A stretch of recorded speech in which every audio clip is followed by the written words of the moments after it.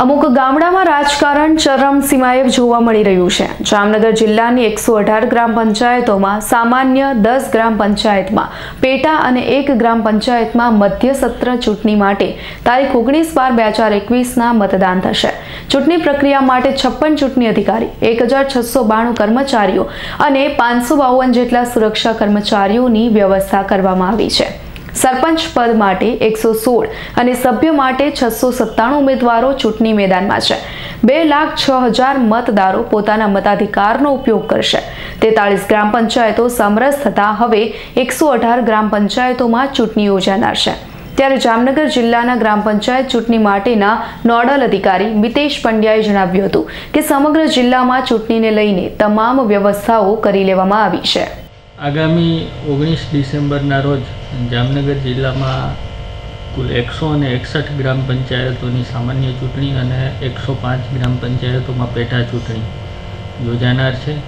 આ અંગે રાજ્ય ચૂંટણી આયોગ દ્વારા ચૂંટણીની જાહેરાત કરી. ત્યારબાદ ઉમેદવારીપત્રો ઉમેદવારી પત્રો અને બધું ભરાયા બાદ અત્યારે ઓગણીસ તારીખે મતદાનની કાર્યવાહી અને એકવીસ તારીખે મતગણતરીની કાર્યવાહી થનાર છે. આના માટેની તમામ તૈયારીઓ પૂર્ણ થઈ ગયેલ છે. સંપૂર્ણ તંત્ર છે. અત્યારે એ ચૂંટણીની મતદાનની પ્રક્રિયાની તૈયારી માટે સતત કાર્યરત છે. આ અનુસંધાને સમગ્ર જિલ્લામાં કુલ બે હજાર એકસો અને ત્રેપનના પોલિંગ સ્ટાફની નિયુક્તિ કરી દેવામાં આવી છે. એમની તાલીમો પણ યોજી દેવામાં આવી છે. કાયદો અને વ્યવસ્થાની સ્થિતિની પણ માન્ય જિલ્લા કલેક્ટર અને જિલ્લા મેજિસ્ટ્રેટ સાહેબ દ્વારા સમીક્ષા કરી લેવામાં આવી છે. તમામ એસડીએમ્સ એસપી સાહેબ ડીવાયએસપીઓ સાથે અને સમગ્ર ચૂંટણી પ્રક્રિયા છે મુક્ત ન્યાયી અને તટસ્થ રીતે યોજાય.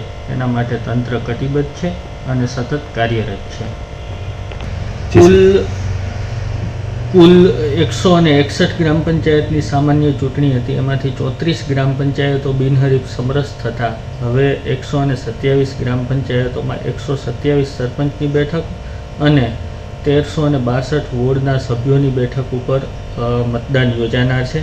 આ માટે મતદારો, કુલ પુરુષ મતદારો એક લાખ છવ્વીસ હજાર ત્રણસો ઓગણસાઠ અને સ્ત્રી મતદારો એક લાખ સોળ હજાર આઠસો છ્યાસી મળી અને કુલ બે લાખ તેતાલીસ હજાર બસો ને પિસ્તાલીસ મતદારો છે એ લોકશાહીના આ પવિત્ર પર્વમાં ભાગ લેનાર છે.